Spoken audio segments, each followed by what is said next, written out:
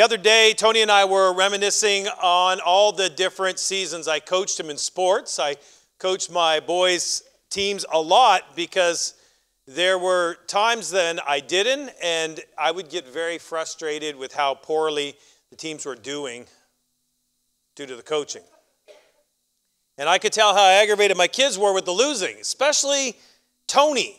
When we first moved here, I didn't jump right in coaching the kids because I previously coached high school and college guys, and I have somewhat of a intense, that a way to put it, Bobby? An intense style. And I didn't know if it would work well with little kids. But then this happened, and uh, this is Tony's uh, coming off the field after a loss his first year at Parks and Rec. Uh, how many people can remember that face over the years seeing that one? Yes. So, uh, no amount of good jobs or end of the game snacks would appease that mood. And all the way home in the car, we would hear all about it. We suck. And this kid wasn't doing this right. And this kid kept doing that wrong. And the coach doesn't know how to coach. And we're not learning how to play the game right. And I would sit there and drive and go, Yeah, yeah, that's true. I, I agree with everything you're saying. So the next season, I figured maybe I'd better step up and coach Tony. And this is Tony, uh, the first year that I coached him. This is the next year when, when dad started coaching. So having a much better experience. I don't know, can you, can you go back to that next slide there? Uh, the next slide. Yeah, can you see the difference? I don't know. Is that a little bit noticeable there? Uh, having a much better experience. So it's typical for us as parents to want to fix things and make things better for our children. If it's within our ability and our power to solve a problem and make them happy, of course, we want to do it. It's pretty easy when they're little. You can do all kinds of stuff for them. You can make a whole lot of decisions on their behalf that you know is going to work out for everyone's best. But you know, the older they get, Robert, the older they get, then you have a lot less say. And uh, they, you have a lot less power, and uh, it's much harder to start fixing things. So, for my older sons, I'm pretty much all I can do for them is advise them and pray for them because I have no authority anymore over what they're doing with their lives. I can't jump in and fix things when, like I used to when they were little.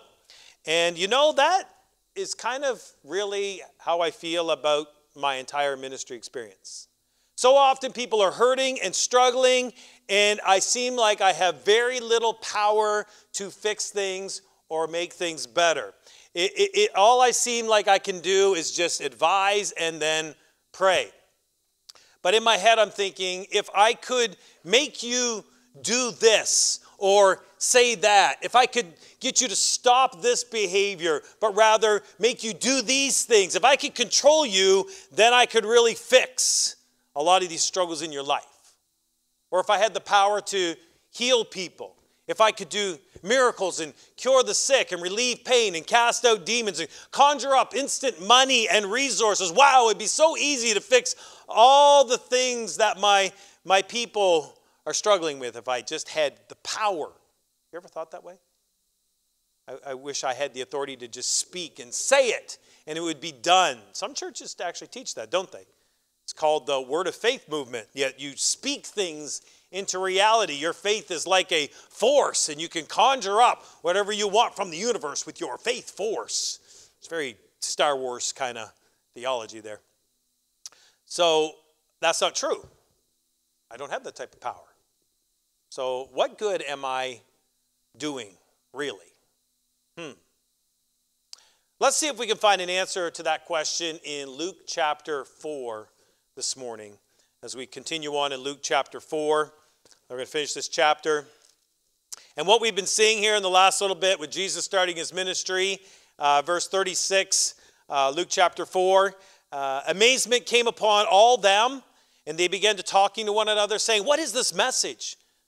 For with authority and power he commands unclean spirits, and they come out. And the report about him was spreading into every locality in the surrounding areas. So Jesus, we saw, had uh, cast demons out of people, and the, the power and authority of his message was becoming real. Uh, verse 38 And then he got up and he left the synagogue and entered Simon's house. Now, Simon's mother in law was suffering from a high fever, and they asked him to help her.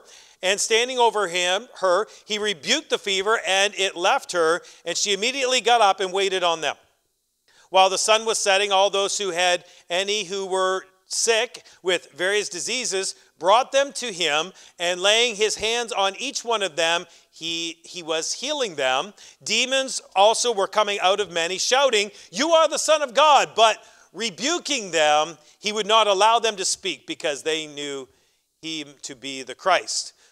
When Jesus came, Jesus, when the day came, Jesus left and went to a secluded place. The crowds were searching for him and came to him, tried to keep him from going away from them, but he said to them, I must preach the kingdom of God to the other cities also, for I was sent for this purpose. So he kept on preaching in the synagogues of Judea. So this is all that was happening, as we learned last week in Capernaum. All these things were happening there. Uh, last week we saw Jesus, who actually has power performing miracles by simply speaking, commanding evil spirits to come out of people, and those spirits obeyed him. The example of his authority and a power is continued on with these next couple verses, verses 38 to 40, 44 this morning.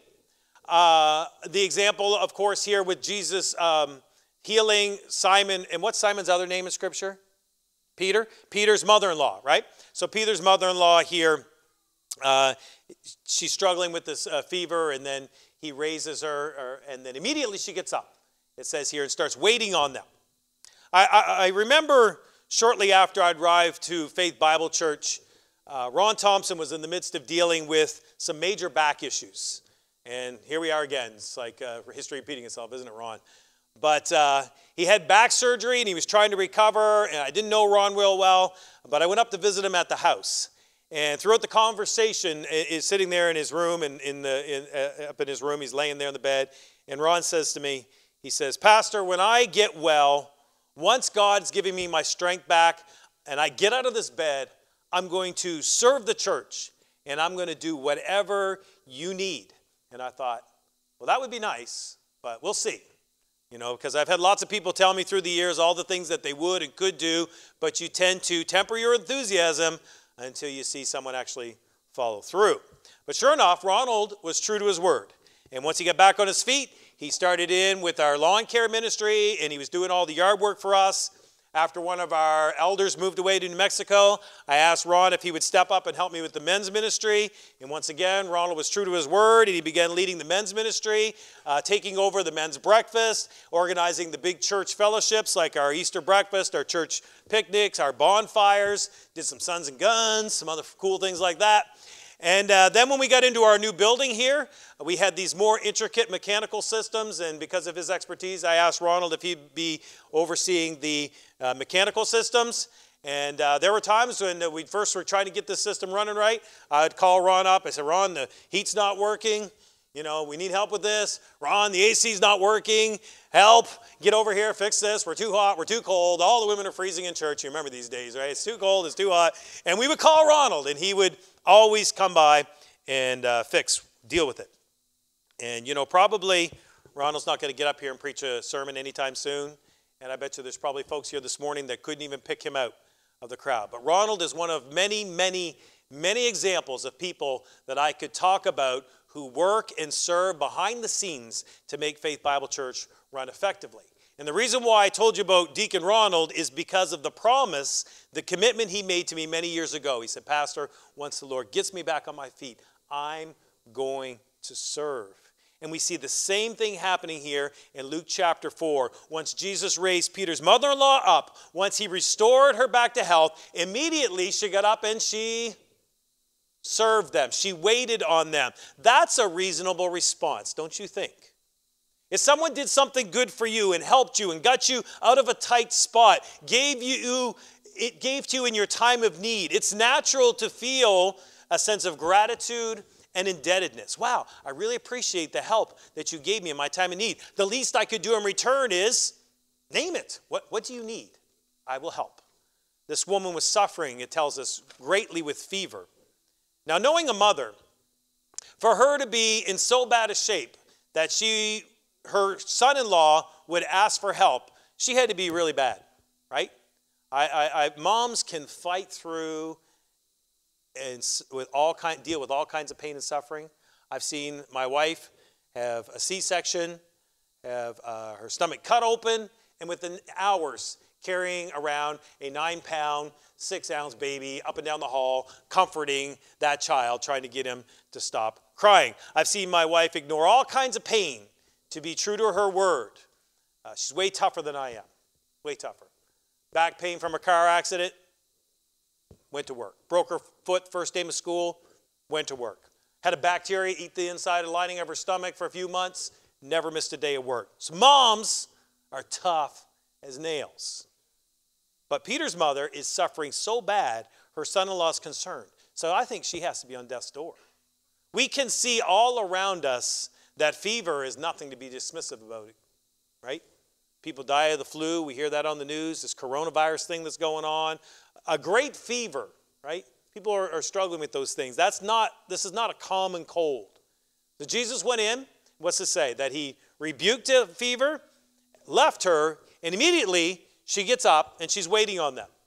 So the fact that she got up immediately and starts waiting on them is evidence that the fever obeyed Jesus, right? She didn't get better gradually. Her immune system didn't naturally fight the sickness off. No, this healing is so instantaneous that she immediately gets up and goes back to that mom thing, right? Here, let me fix you something to eat. Reminds me of Ileana's grandmother we were coming down from Canada one summer for vacation. We stopped in New York City to pick up grandma to take her to Virginia with us. And we go to her apartment to get her and get her stuff. And she's like, I made you food. You need to sit down and eat. Now, I am at this moment in hammer down mode. You know what hammer down mode is, right? This is a McNutt expression. My dad always says, uh, he always uses this to describe an activity that you're doing with great intensity to get the job done as soon as possible when you're going at something really hard. So when you're on a long road trip and you want to bang it out as quick as possible and we're only stopping for gas, if you need to pee, you're going to pee when we stop for gas, right? That's it, no breaks. That's hammer down mode. You can use that. You write that one down, okay? We're driving through New York City and the traffic's moving. You don't want to stop right? Because if you stop for too long, all of a sudden it's rush hour traffic. And so we come into New York City, and I'm, I'm in full hammer down mode, and I'm not hungry. I just want to load grandma into the back seat and get right back on the road. But grandma's not leaving the apartment until we go May, right? Because that's what grandma does. Doesn't matter that she has to pack, doesn't matter that she has to clean the kitchen because you don't want to leave it a mess for the, the couple weeks she's going to be away, or that we got a six hour drive. No. First and foremost, what's most important to her is she gives us something to eat. She has to serve us. Eliana says to me, You know, we're going to have to eat something, right? And I'm like, Okay, fine. I'm going to eat, so I don't want to be rude. You know, that's how I eat, right? Real fast. But I didn't eat enough because she ate, she made so much. So she takes the pot full of food and sits it on her lap for six hours and takes it to Virginia so she can give it to the rest of the family. Because everyone is going to get served. That's what grandmas do, right? And that's how I see Jesus' mother in law. Jesus heals her. She's feeling great. Immediately, she kicks into mom mode. Jesus, sit down. Peter, tell the boys to sit down. I'm going to make them, get the apron on, you know, I'm going to make everyone a meal. And she does this because that's who she is. And she does this because she feels since Jesus has raised me up, the least I can do is serve him. And I know that that resonates with so many of you in here today because so many of you do the exact same thing that Ronald did. You didn't make me the promise, but nevertheless, your actions tell me exactly what happened. God saved my life. Jesus saved my soul. The Lord has saved my marriage. The Lord healed me. I was broke and I had nothing, but God made a way and He provided. The Lord has blessed me with so much. What can I say? What can I do but offer this heart, O God, completely to you? Which is exactly what Paul says in Romans chapter 12. He says, I beseech you, therefore, brethren, by the mercies of God, you present your bodies a living sacrifice. I know I'm King James England, it's not King James, but that's how I remember it. Holy and acceptable unto God. This is your reasonable, this is your spiritual service. When you consider all that God has done, it's only reasonable to give ourselves to God, to serve Him. And I just want to say to you all, thank you. Because you all do so much you give so much and you care so much. I'm so blessed to serve in a church where people care about the gospel, care about building the kingdom of God, care about serving the body of Christ, care about reaching the lost, care about the word. I, I preached a kind of a in your face message last week, and I thought, well, probably you can get some people upset at me for this one. And uh, all I heard was, thank you, Pastor. We needed to hear that. We just needed that challenge. And, you know, I, I was just preaching it because I needed the challenge. The Holy Spirit had convicted me, and sometimes I'm just stubborn about admitting when I'm wrong. So it's just really, I was getting at myself. But I'm so thankful to be in a place where people are honest about their faults and their failures and humble to submit to the Word of God. You are people who understand that life is not about me, it's about serving the Savior. Because after all, this is what Jesus modeled for us, right? He spent his whole life serving others and proclaiming the gospel. Verse number 40 While the sun was setting, after those who were sick with various diseases were brought to him, and he laid hands on each one, and he was healing them. Demons were coming out of many, shouting, You are the Son of God. But rebuking them, he would not allow them to speak because they knew him to be the Christ. Why do you think Jesus wouldn't let the demons speak? After all, weren't they telling the truth? Isn't he the Son of God? I think it's the same reason why often our politicians will disavow certain groups that are offering them an endorsement. If a politician says he's for gun restrictions and removing the Second Amendment from the Constitution, but then the NRA said we endorse this candidate for president, people would go, wait, what? Why? Why would you endorse someone who is opposite your stance unless you know something that they're not telling us? Hmm. If a pro life candidate gets a strong endorsement from Planned Parenthood, we'd think that doesn't make sense unless not as pro life as he's claiming to be. So the candidate would need to clarify I, I do not accept the NRA's endorsement. I'm not on their side. I, I, I do not accept Planned Parenthood's endorsement. I, I disavow everything they stand for. I will not help their cause in any way, shape, or form. I will shut them down ASAP. Demons are notorious liars. They are unclean spirits. Jesus is disavowing the demons. He's refusing to allow them to speak anything about him because all that would do is create confusion.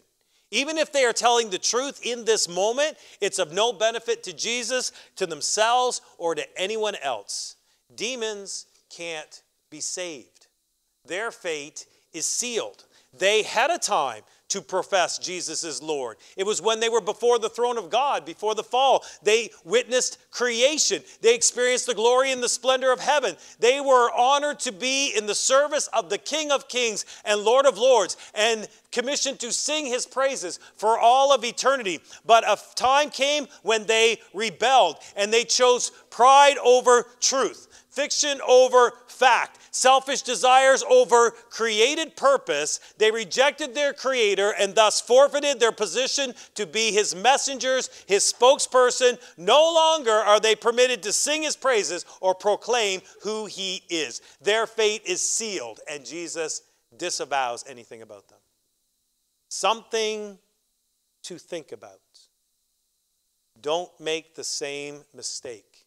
This is our time to sing praise to Jesus, to declare, to testify, to proclaim his name, to shout his fame. We have this opportunity. What a privilege it is. Based on who Jesus is and all that he's done, it is our reasonable service. And yet, often people choose pride over truth, fiction over fact, selfish desire over created purpose, just like the demons.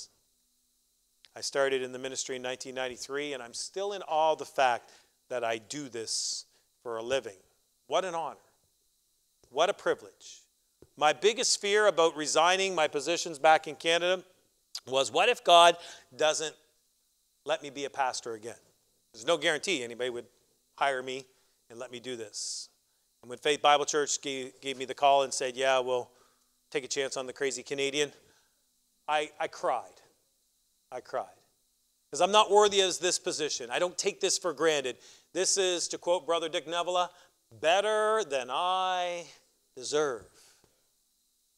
But this is our time to sing praise to Jesus, to declare and testify, proclaim his name, shout his fame. Don't let the devil entice you away. Don't be like those demons who forfeit their position and then get disavowed. I've showed you this warning before. It's a fearful fact Matthew chapter 10, Jesus says, Therefore, everyone who confesses me before men, I will also confess them before my Father in who's in heaven. But whoever denies me before men, I will deny him before my Father who is in heaven. Jesus will disavow those who deny him. It's too late once you get to heaven. Just like it was too late for the demons once they were cast out of heaven and onto earth. That was their time. They lost it. This is our time to declare Jesus is the Son of God. The psalmist says, Praise the Lord, praise the Lord in the sanctuary, praise the Lord in the mighty expanse, praise him with the mighty deeds, praise him according to his excellent greatness, praise him on the trumpet sound, praise him on the harp and lyre, praise him with the timbrels and dancing, praise him in, with stringed instruments and pipes, praise him with loud cymbals. I know you like that one, Tony. Praise him with resounding cymbals. Let everything that has breath praise the Lord. Praise ye the Lord. Is he not worthy of our praise? It is our reasonable service. Verse number 42 the day came when Jesus left and went to a secluded area, and the crowds were searching, came to him, tried to keep him from going away from them. But he said, I must preach the kingdom of God to all, to the other cities also, for I was sent for this purpose. All the good that Jesus did, Jesus had the power and the authority to do all these miracles, and yet that wasn't his purpose. Think about it. He did all this good for all of these people, so much so that they don't even want him to leave Capernaum. Of course not. Probably somebody is going to get sick in another day or two, right? All of a sudden that flu bug is going to kick back in.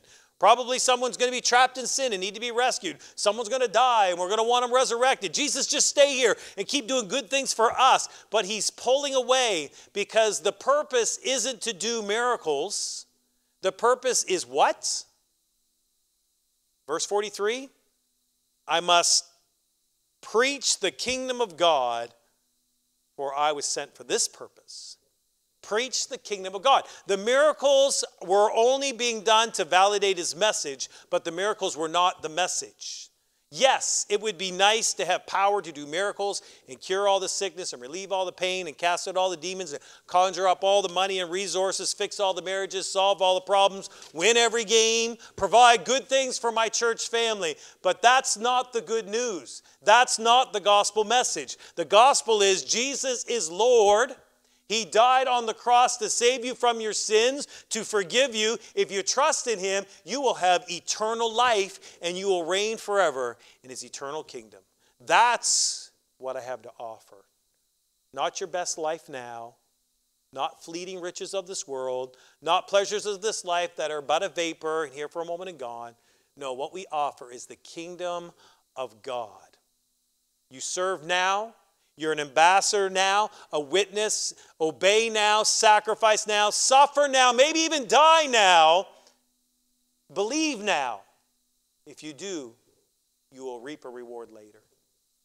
Listen to what was said about Jesus in Revelation chapter 5. They sang a new song. This is up in heaven. They said, Worthy are you to take the book and break the seal, for you were slain, purchased of God with your blood from every tribe and tongue, people and nation. You have made them who? Who's he made? People, men from every tribe, tongue, people, and nation. You've made them to be a kingdom and priests to our God, and they will reign upon the earth. They will reign upon the earth. All who are redeemed by the blood of Jesus are part of the kingdom and priests to our God who will reign forever with Jesus in that kingdom. Is that good enough? Is the gospel good enough? I wonder. I thought about this song. I sing this around here sometimes. You are my supply, my breath of life, still more awesome than I know. You are my reward, worth living for, still more awesome than I know. All of you is more than enough for all of me, for every thirst and every need. You satisfy me with your love, and all I have in you is more than enough. That's the good that we have to keep doing, is taking that gospel and that hope of eternity to people to show them what the kingdom of God is all about. Lord, we just pray that you would help us. There's been a lot of uh, prayers this morning for struggles and pain and suffering and brokenness, and how we wish we could just fix it all. But Lord, that is not what the plan is. The plan is eternal reward, a heavenly home. We suffer, we struggle, we're in trials and tribulations for a little while, but then on the other side, joy comes in the morning. Lord, may we hold true to that message. May we continue to declare that truth. May we be faithful through whatever we're going through to know that on the other side, you will provide all these great blessings. And may that be enough for each and every struggling person, each and every hurting person, each and every discouraged person to know that there is a coming a day when this is all going to be put away. No more sickness, sadness, sorrow, mourning. It all passes away in that new kingdom. May we fix our eyes upon you, Jesus, and follow your example. You went all the way to the cross and suffered. May we be willing to take up our cross and follow you. Pray all this in Jesus' name. Amen.